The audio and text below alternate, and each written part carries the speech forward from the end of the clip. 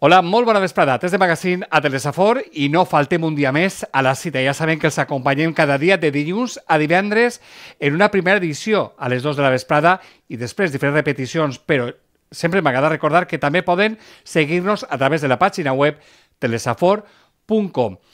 Avui tenim eh, dues propostes eh, que fer-los. Una que es ve des de l'àmbit eh, esportiu i és que el nostre company Santi Roca ha xerrat amb Alan Kleinhan, que és la primera renovació per a la pròxima temporada d'Units pel bàsquet Gandia. Eh, una peculiaritat i és que serà el capità d'esta nova temporada d'Units pel bàsquet Gandia després eh, de l'eixida de Shea Miller. Però, primer, una entrevista a la primera autoritat política municipal de Gandia. La nostra companya Marina Vallès ha, ha xerrat eh, amb l'alcaldessa de Gandia, Diana Morant. Amb ella ha parlat sobre l'actual situació. Estem en la fase 3 de la desescalada. Com està vivint Gandia i com està gestionant-se esta situació i, sobretot, quines són les previsions de cara a aquesta temporada turística que està ja ahí, al caure. Així és que comencem amb l'entrevista a l'alcaldessa de Gandia, Diana Morant. Es compleix un any des que s'iniciara la nova legislatura i poc podíem imaginar que un any després de que Diana Morant revalidara el seu mandat al front de l'alcaldia de Gandia, amb el recolzament de Compromís Més Gandia Unida, el context eh, sanitari, econòmic, social, polític anava a canviar de la manera que ho ha fet. Sens dubte és un bon moment per fer una mirada enrere, per veure com ha anat este primer any de legislatura i sobretot com encara, com afronta Gandia eh, doncs, els pròxims mesos amb el context de la pandèmia del coronavirus. Saludem a l'alcaldessa de Gandia que ens ha rebut al seu despatx. Alcaldessa, gràcies. A vosaltres per acompanyar-me i per ajudar-me a, a dirigir-me a la ciutadania en aquest moment tan difícil. En primer lloc volia preguntar-li com està. Com està després d'aquest temps eh, que a ningú encara ens cap en el cap? Pues entenc que estic colpida, que estic encara en aquesta barreja d'emocions, en el que es mescla encara la preocupació, però també l'orgull i l'alegria, l'emoció de veure com la ciutadania en el seu conjunt hem pogut superar la que considera la pitjor crisi de les últimes dècades o igual de l'últim segle. No? I aquesta barreja em fa treballar en un espai encara desconegut, amb moltíssimes incerteses, però amb la gran certesa de que això anem a traure-ho si ho fem eh, tots junts. Fa dues legislatures, eh, vostè i el seu equip iniciaven una etapa molt dura, més de 300 milions de deute a l'Ajuntament de Gandia, que els obligava pràcticament a pagar deute i poc més. Iniciaven aquesta legislatura amb il·lusions renovades, deien vostès que era la legislatura del canvi, de les oportunitats, i clar, de repent, eh, esta crisi del coronavirus ho ha canviat tot. De fet, vostès van a reflexar això i ja ho han començat a fer en el propi pressupost. Implica això que eh, el seu partit i el govern no va poder acomplir el que s'havien proposat en aquesta legislatura? Va canviar-ho tot completament, aquesta crisi? Doncs mire, Marina, eh, fa cinc anys li deia a la ciutadania que anava a comptar amb tota la ciutat per a fer front a, a les prioritats i a les necessitats de, de la ciutadania i de la societat gandiana. I fa un any renovava aquest compromís i deia que podien comptar amb nosaltres. Crec que no ha canviat res Crec que les circumstàncies han sigut distintes, però la confiança que pot tindre la ciutadania en un govern que està superant o que està fent front a les pitjors circumstàncies i que està donant una resposta adequada a elles és la mateixa. Si no haguérem tingut la recuperació econòmica que es va protagonitzar a la ciutat de Gandia la legislatura passada, no haguérem tingut la higiene a les arques municipals que ha fet possible que poguérem front a, fer front a, a la crisi del Covid-19. De manera que jo crec que encara el fil conductor és el mateix. Li van demanar la confiança a la ciutadania per a fer front als seus problemes de la manera més honesta, més responsable, més disciplinada i ho continuem fent. I este marc, eh, este marc d'higiene econòmica ha fet que hagin pogut reconduir eh, part de l'economia del municipi, part dels pressupostos, els remanents positius de tesoreria, que equiparant-ho a una família podrien ser els estalvis que hem anat produint en els últims anys, a aquesta solució del Covid-19 o la inversió en els sectors productius, en les necessitats de la ciutadania, i sin embargo Gandia no ha quedat parada ni ha de prescindir dels altres projectes i els altres compromisos que són importants també per a la ciutat. Una ciutat ha d'afrontar una crisi pensant que ha d'eixir millor de la crisi de lo que va entrar, de manera que nosaltres tenim que continuar invertint i fent que aquestes infraestructures educatives, sociosanitàries, de justícia, aquesta millora que ja havíem dut a, a serveis bàsics de la ciutat, continue, de manera que Gandia eh, a pesar d'haver fe, fet front a aquesta crisi sanitària, eixirà reforçada i eixirà millor de lo que va entrar en la crisi. Caldrà una modificació del pressupost a banda d'aixòs 4 milions i mig d'euros que vostès han aprovat per ajudar a tots els sectors. Caldrà una modificació pressupostària que fins i tot hauria d'exigir al Ministeri d'Hisenda una revisió de nou, perquè sabem, els, els, els ciutadans saben que els pressupostos de Gandia passen aquest fil del Ministeri. Caldrà aquest procés altra vegada, alcaldessa? Per suposat. A més, ara mateixa no ens sentim a soles, ha hagut moments en el que la ciutat de Gandia, per el seu comportament tan peculiar, econòmic, ens sentíem un poc a soles davant del Ministeri. Ara són totes les ciutats del territori espanyol les que estan demanant que aquestes restriccions o limitacions que tenim a l'hora d'utilitzar els nostres superàvits o remanents de tesoreria, les tasses de reposició de personal. A dia d'avui necessitem persones treballant per a l'Ajuntament que facin front a aquesta pandèmia, que ajuden a la ciutadania i a la societat i no podem estar limitats i encorsetats en aquestes eh, regles o en aquestes normatives que ja fa tants anys que ens encaminen a l'austericidi, al pagament de deute. No podem eixir d'esta crisi igual que es va fer a la crisi del 2008, tenim que eixir amb inversió pública, amb diners damunt de la taula, injectant diners a la ciutadania. L'economia ha de circular, perquè de l'economia circular depenen moltes famílies, de manera que efectivament li hem d'exigir al govern d'Espanya, ho estem fent tots els municipis a, a una, no? a través de la Federació Espanyola de Municipis i Províncies, que ja no valen les regles del xoc que teníem fins ara perquè el xoc i el tablero han canviat absolutament.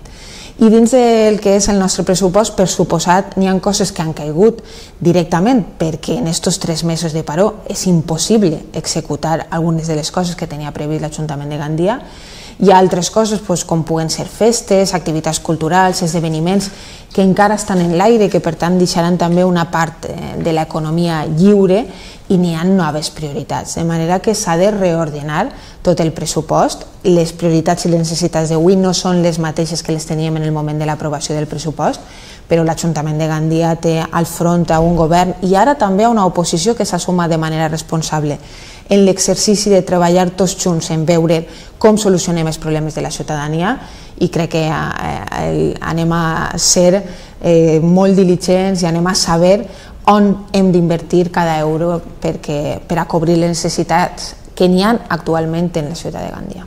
Aquesta reordenació implicaria també no sé, canvis en el govern, eh, reajustos per a gestionar d'una manera més eficaç aquesta nova situació? Ho contempla vostè? El, lo que sí que l'administració ha de canviar eh, i ens hem donat compte amb el coronavirus.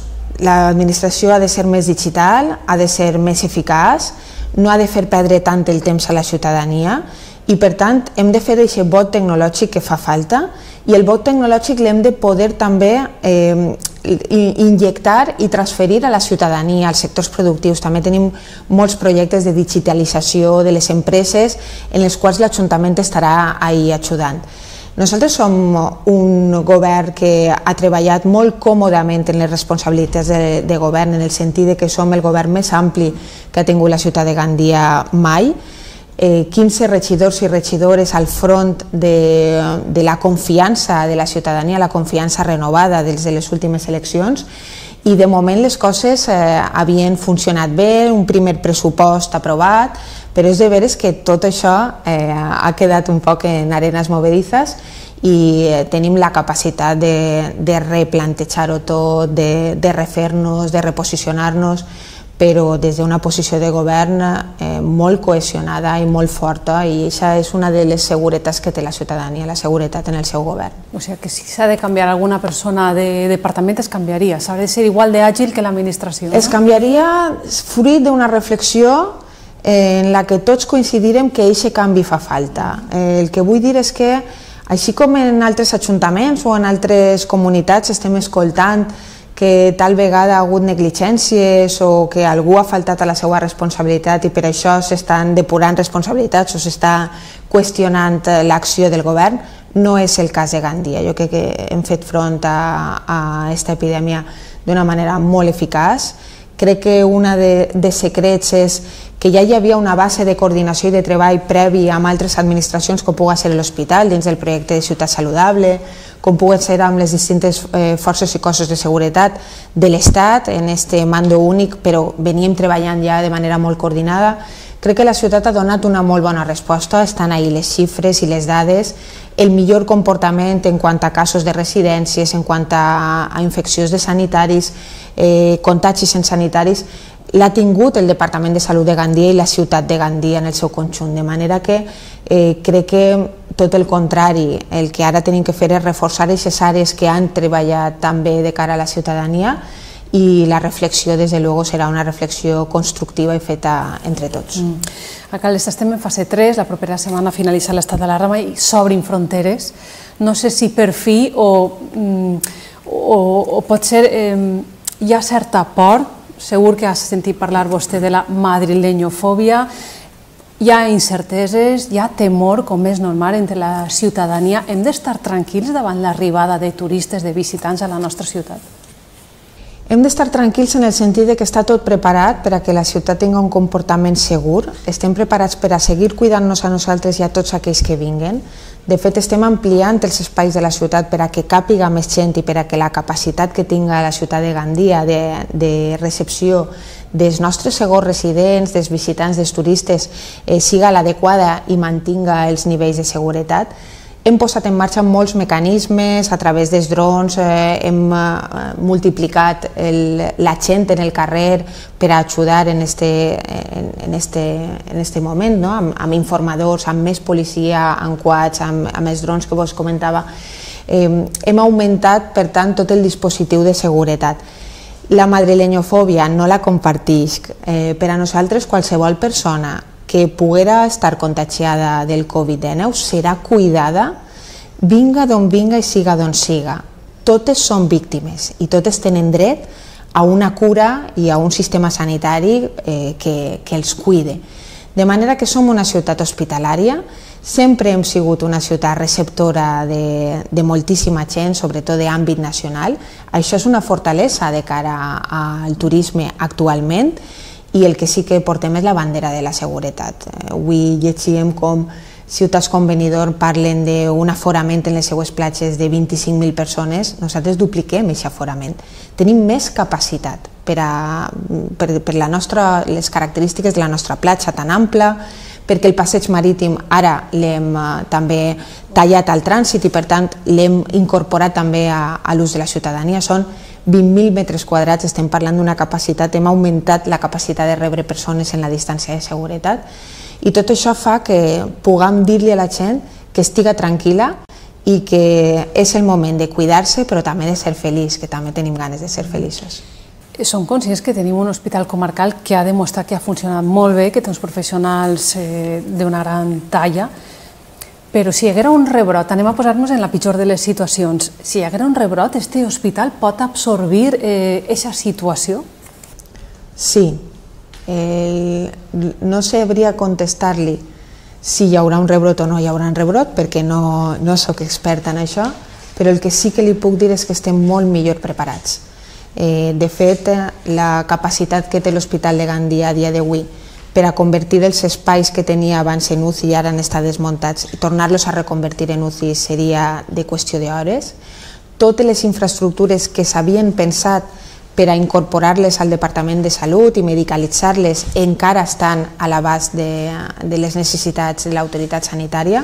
Per tant, el, eh, ara sí que hi ha acopio, perquè s'ha fet acopio de material de protecció per a que ningú torne a aquesta primera etapa de la pandèmia en la qual el principal problema és que no hi havia material de protecció ni per als sanitaris ni per a les persones que estaven en primera línia, tot això eh, s'ha reforçat. A més de que els experts coneixen millor ja el comportament del virus i tenim noves ferramentes, per exemple la de l'aigua, la medició a través del, del sanejament de, del, dels positius de coronavirus en la nostra ciutat, de manera que podem detectar millor, podem aïllar millor i podem cuidar millor de les persones infectades, per tant, eh, sí que crec en la capacitat de fer front d'una manera molt més eficaç a un possible rebrot en un futur. Uh -huh.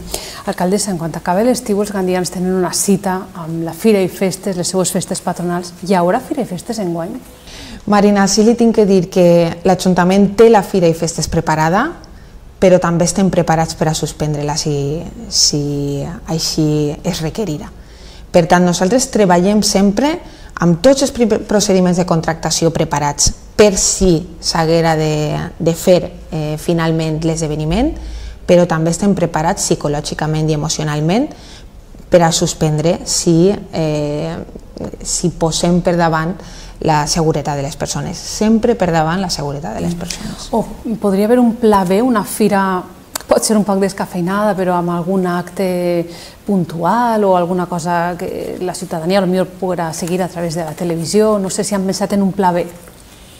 Eh, serà depenent de les circumstàncies, perquè des de luego la nostra fira té una característica i un model molt clar, que és que tots estem en el carrer i tots eh, gaudim d'espectacles de carrer multitudinaris, de manera que seria una fira completament distinta. De totes maneres, el propi departament i l'àrea d'escena de, urbana està estudiant totes les alternatives, eh, però tenim que arribar a aquest moment per a saber quin tipus de fira ens podem permetre i des de luego sempre posarem per davant de tot el, la salut de les persones. Ara mateix hem hagut de suspendre totes les festes de tots els barris, hem hagut de suspendre la processó de la Mare Déu del Carmen, hem hagut de suspendre la nit de Sant Joan i ho fem des de la responsabilitat i des de la coherència de saber que no podem posar en perill a ningú i que no podem donar ningú pas enrere perquè s'han fet molts sacrificis i ara no podem tirar tota aquesta feina i tot aquest sacrifici per, per la borda. Alcaldessa, estem acabant. M'agradaria eh, traslladar aquesta pregunta a un plànol més personal. Vostè com a ciutadana, però també màxima responsable d'esta ciutat, va viure un període molt dur, vostè i tot, i tot el govern i evidentment la ciutadania, amb aquest incendi de, que va arrasar bona part de Marxuquera en la legislatura passada i en aquesta legislatura s'ha vist enfrontada doncs això, una situació que mai ningú havia ni siquiera imaginat com ho ha viscut com a ciutadana en aquesta doble vessant seua d'alcaldessa i, i ciutadana de Gandia? Bueno, vostè ha posat eh, directament l'atenció i el focus en els dos pitjors moments, no de la meva vida política, segurament de la meva vida, perquè fer front a dos grans crisis, dos grans circumstàncies en què la gent té la seva vida en perill, mai em recuperaré d'aquella nit en l'incendi en la qual s'estaven cremant cases i no teníem la certesa de que no n'hi haguera ninguna persona dins d'alguna casa fins que me van comunicar perquè se va comprovar casa per casa que no havia mort ninguna persona eh, segurament és el pitjor moment de la meva vida i és de veres que aquesta circumstància ha sigut equiparable tindre la por contínua de que les persones no pogueren estar protegides de que al no estar protegides poguérem estar elevant el, la quantitat de, de risc no? de, de les persones de, de, en les seues vides ha sigut molt dur. Eh, pensava contínuament amb, amb el personal sanitari que estava vivint en primera persona perquè tenia la responsabilitat de cuidar de totes aquestes vides i la veritat és que ha sigut molt colpidor. Jo crec que este moment, igual que el moment de l'incendi, anem a recordar-lo tots per sempre.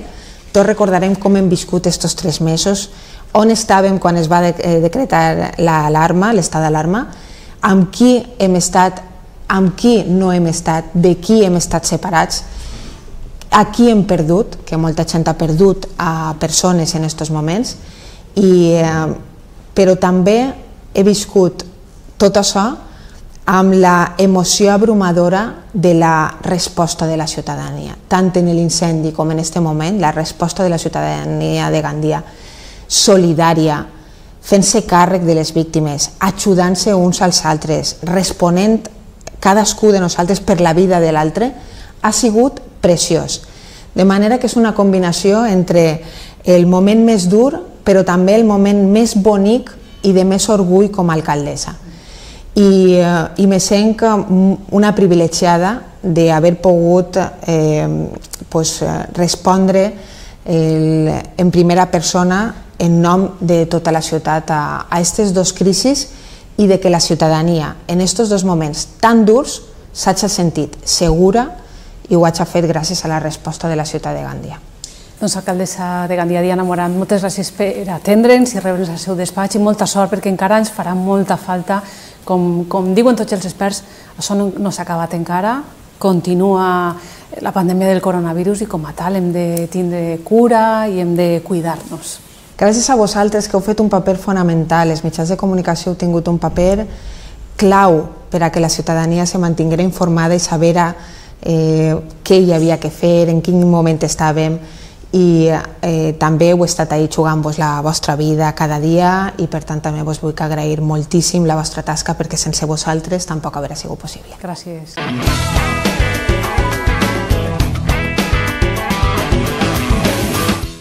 Hablar del Unispel Basket Gandía en los últimos años ha sido hablar de su capitán, de Sale Miller. Pero este año eh, la cosa cambia. Ya no es el capitán, el americano de Chicago, y lo es un jovenzuelo de tan solo 23 años y de apellido holandés, pero que es eh, un jugador formado en Gandía desde muy pequeñito. Alan Clejan, que se ha convertido ya en la primera renovación del equipo que va a entrenar un año más eh, Víctor Rubio y al que tenemos por ahí. ¿Qué tal, Alan? Buenas tardes. ¿Qué pasa, Santi? ¿Cómo estás? Un placer estar aquí contigo. Hay que saludarte de otra manera ahora, eh, con reverencia, capitán. No, no, no hace falta, como siempre está bien. Bueno, si quieres hacerlo no te voy a decir que no, tampoco pasa nada. bueno, eh, Clejan, que con solo 23 años te toca tomar el relevo de un, mito. Sí, la verdad que gran responsabilidad. Deja a el listón un pelín alto, eh, ya lo dije en su día, pero bueno, con mucho gusto y mucho placer. Es el equipo de mi vida en el que llevo mogollón de años entre cantera y primer equipo y, bueno, como dije, para ayudar a mis compañeros en todo lo posible, al cuerpo técnico y para conseguir nuestros objetivos. De todas maneras, Alan, recuerdo algunos pasajes de estas últimas dos temporadas, sobre todo de la última, en el que ejercías ya un poco como, no sé si de capitán, pero sí por lo menos de motivador, ¿no? Tu lesión, eh, eh, que te dejó fuera del equipo en, algunos, en algunas fases del campeonato, eh, hacía que parecía que el equipo le faltara un poquito ahí de punch, ¿no? Y recuerdo que incluso llegaste a forzar tu entrada en, el equipo, por lo menos en el banquillo, pues para estar con los compañeros, ¿no? Sí, bueno, yo siempre me he definido como una persona muy, muy caliente, ¿no? De sangre caliente, siempre muy motivador, muy animador, ayudando a todos. Y ya sea como capitán o no, bueno, este año compartía capitanía con Sei, obviamente Sei era el primer capitán porque Sei es Sei pero, pero sí, siempre me ha gustado eh, ser la persona que motiva, que, el momento de bajón del equipo, ya sea entrenando en el partido, sea yo el que les pegue una colleja a todos y espabilemos, ¿no? Eh, siempre me ha gustado ejercer ese papel. Y nada, este año ya pues como primer capitán eh, con mucha más responsabilidad y ahora sí que tengo que ser yo sí o sí. Como decías, el tema de la lesión no sé si afectó al equipo o no, a mí me afectó personalmente, porque estábamos en un punto que a mí me apetecía muchísimo jugar, estaba muy chula la liga y sí que forcé un poquito mi entrada para estar cuanto, cuanto antes con el equipo, eh, sobre todo por mí y por el equipo, porque ya sea entrenando, ser uno más y en los partidos también ser uno más y sumar en todo lo posible, creo que es muy importante. Es importante y importante también pues tener esa capacidad que tienes tú, ¿no? Para, para llegar a los compañeros. Eh, Miller era más de eh, silencio y miraditas, tú más de gritos. Sí, la verdad que nunca mejor dicho blanco y negro en ese sentido. Miller era más soltar tres palabras en el momento indicado, pero esas tres palabras eran las que tocaba justo decir y todos espabilábamos, sabíamos que cuando Miller hablaba iba a decir algo importante y yo en cambio soy de hablar sin parar, ¿no? Eh, cada dos minutos dar un estímulo y no sé, soy así y es mi manera de ser, ¿no? Bueno, pero me imagino que no te han renovado para que grites y estimules, porque para eso ya contratan a un, a un animador. Eh, ¿qué va a ofrecer? Que no sea solo por eso, exacto, pero que no. ¿Qué va a ofrecer Alan este año, además de defensa e intensidad? Bueno, pues es un año en el que, bueno, esto todavía no lo he dicho a nadie, pero en cuanto a mi vida privada he cogido menos cosas, por así decirlo. Me voy a dedicar únicamente al estudio. Por la tarde voy a tener también un equipete de chavales, como siempre me ha gustado y tal, pero no tres o cuatro como he estado llevando estos últimos años. Voy a tener más tiempo libre para dedicármelo a mí, para dedicarme al gimnasio, para tener también más descanso y poder estar a un rendimiento mejor a la hora de entrenar y a la hora de jugar partidos. Por lo tanto, creo que eso me va a ayudar también, el descanso, el poder entrenar mejor y más, eh, para que a la hora de rendimiento, a la hora de jugar, vaya mejor. Como siempre, pues bueno, eh, en defensa seguir igual que siempre, intenso, agresivo al 100%. y a ver si en ataque podemos eh, cada año ir mejorando, ir sumando un poco más. No me digas que el confinamiento te ha hecho lo mismo que nos ha hecho todos. Te has parado, has pensado, has dicho no puedo seguir con este ritmo. A tus 23 años estás en esas ya. No, no, no, a ver, no, el confinamiento me ha servido para pensar a ver qué son las cosas que tendría que, mejorar, eso sí que es verdad. Pero bueno, tengo que decir que no he parado de entrenar durante el confinamiento, me he machacado aquí solo en casa. También tengo que decir que el día que nos dejaron a salir a la calle fui el primero que salió a correr, necesitaba despejarme, airearme. Y también eh, nombrar que ayer por primera vez me dejaron pisar el, pabellón y tirar por primera vez a canasta. Mejor de lo que me esperaba, también te digo, estaba asustado, digo, ahora no tocaré ni aro, pero no, la verdad que entraba. ¿Metiste alguna? Así que bien. ¿Metiste alguna o qué? Metí, metí, sí, sí, no. más el manejo de balón, eso sí que se perdió un poco, pero bueno, con un par de trenes tal, pero el tiro, el tiro sigue ahí. Eso es como montar en bici, Santi. ¿Cómo fue ese momento de volver al pabellón? Porque claro, todos tenemos guardadas en la, retina el momento de volver a trabajar, el momento de encontrarte con los amigos, el momento de volver al pabellón, imagino que silencioso, con muy poquita gente, no sé si compartiste con algún compañero, se te queda grabado ya, ¿no? Fue, fue único. la gente no sé si me entenderá o no, pero para mí el pabellón es mi templo. Cuando entré y lo vi todo para mí, con mi balón y las dos canastas y tal. Sinceramente, la primera imagen que me vino fue el pabellón lleno de gente a tope en pleno partido y animando, porque es como siempre me lo intento imaginar pero la verdad que mucho gusto, mucho gusto poder tirar, entrenar y tal, la verdad que lo necesitaba. Piensa que llevaba casi tres meses sin pisarlo, yo creo que en mi vida he estado tanto tiempo sin ir al pabellón, así que la verdad que muy bien, muy contento. Bueno, eh, se está haciendo un equipito bien. Yo creo que además con gente muy joven, pero gente que apunta a, a, buenos jugadores, ¿no? No sé si te están rodeando de jovenzuelos para que te sientas un poquito más veterano dentro del equipo, ¿eh? Oye, yo creo que te va a sorprender. Cuando salgan todos los fichajes te va a sorprender el tema que acabas de nombrar de, veterano. ¿eh? Va a ser más veterano de lo, que, de lo que te puedes imaginar, la verdad que sí. Pero un equipo muy chulo, un proyecto que me gusta bastante, además que creo que se acopla muy muy bien a mi estilo de juego. Un estilo de juego rápido, agresivo, de correr, de matar, todo cuchillos a tope. O sea que a mí eso siempre me ha gustado, es un poco mi estilo de básquet y es lo que necesito. Así que muy contento y como tú has dicho, pues la mayoría bastante jovenzuelos. Voy a tener que, ejercer de papi un poco ahí en ese sentido con 23 años, o sea que está curioso el tema. Vislumbro que ejerces de capitán también en el despacho. Ya sabes más o menos los fichajes. bueno, algo hay por ahí, pero no te preocupes que en las próximas semanas van a ir saliendo, así que no tengo prisa.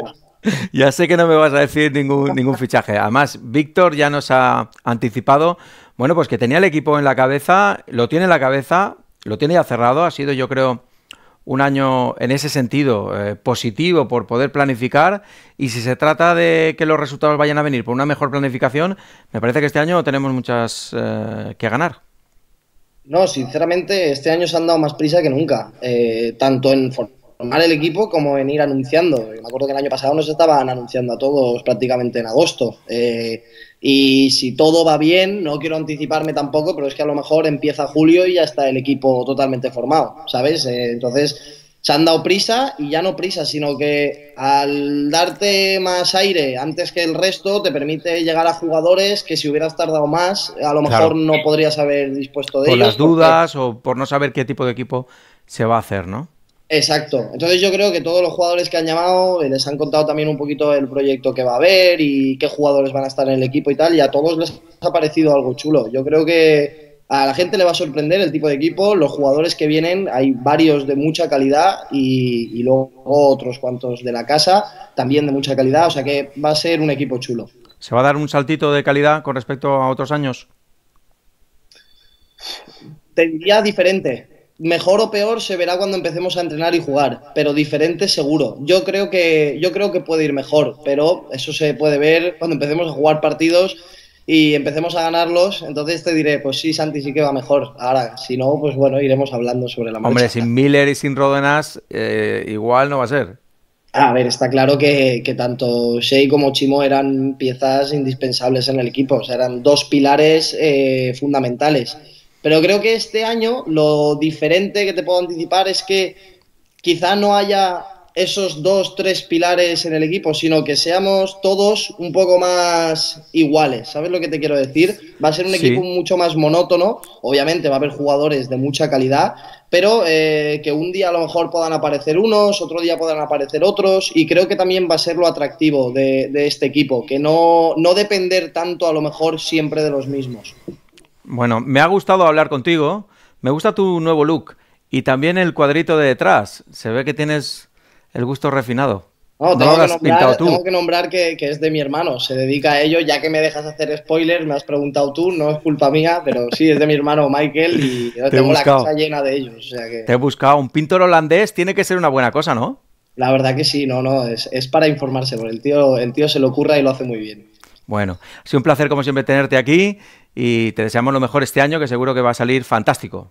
Muchísimas gracias, gracias siempre por, estar tan atentos, mostrar, mostrar tanto interés y, la verdad que yo encantado. Cuando queráis llamarme para trabajar, que tengáis alguna vacante o algo, no hay ningún problema, sabéis que siempre me ofrezco.